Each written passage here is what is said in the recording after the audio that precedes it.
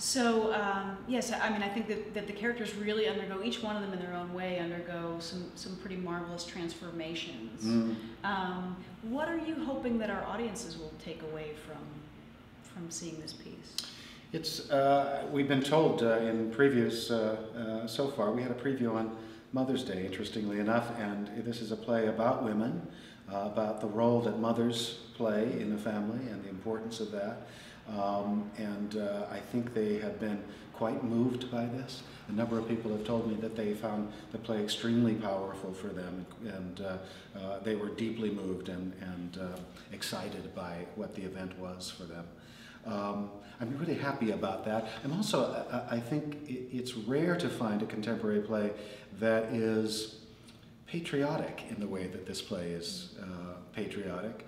Um, not in a kind of uh, knee-jerk way, but in a way that uh, asks us all to take responsibility for the actions around the world, take responsibility for the freedoms that we enjoy, and that's what certainly the Latino community uh, has done uh, through uh, emigrating to this country and, and by maintaining their uh, heritage and understanding that, connections to that. Um, but also uh, our, just every American's responsibility to, to their adopted country since all of us are immigrants in one way or another. Yeah.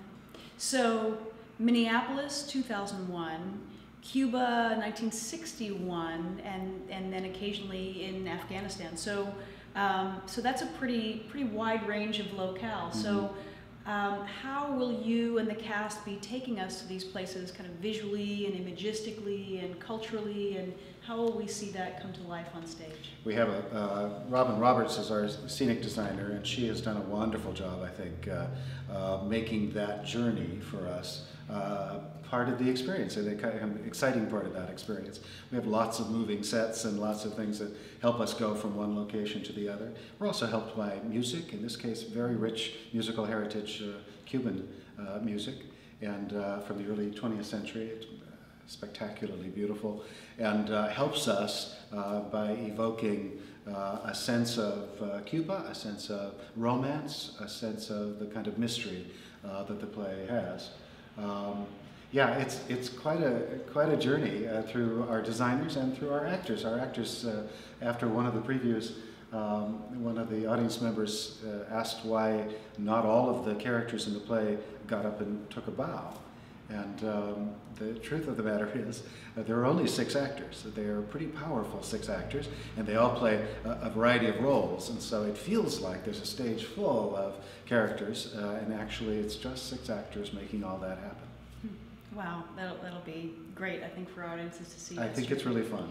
And, um, and, and it's, you know, it's interesting. So we're seeing this same set of six actors playing of two separate generations of, of family, um, but within their own family. I think um, lots of times we think, in, when we're younger, we think, oh gosh, don't let me become my mother, you know, don't let me become my parent. And then later, when we gain a real respect for our parents and who they were, we think, gosh, you know, thank goodness I have those qualities of my parents. And and as your cast members are transforming from one generation to another, um, can you talk at all about how the generations echo themselves? You know, how Sonia when she's younger and Sonia when she becomes older, how she is much like her mother, and how those relationships play out? The playwright, who is um, Cuban American uh, actress and playwright uh, from uh, the East Coast, um, I think has done a wonderful job of echoing generations of struggle. Uh, and so that when we go back in time, we begin to hear a lot of the same arguments. I think most of our audience would uh, you know, sort of recognize that, uh, that we have the same kind of, our parents had the same arguments with their parents that we have uh, with ours. Uh, they're kind of struggles or, uh, um, you know, power plays that we have between generations.